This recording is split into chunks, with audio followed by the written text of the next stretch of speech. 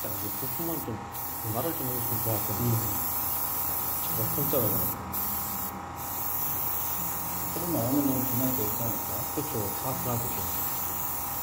그럼 안, 하- 안 해주면 불질러 버려야죠, 진짜. 그 가격 너무 비싸가지고 그죠. 한 천만 원 되겠더라고, 천만 원.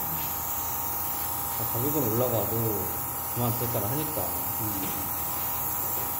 이때들 한 3만원 밖에 안 할 때, 와, 싸다고 샀다가 얼마나 욕했는데. 다 붙여놨고. 네.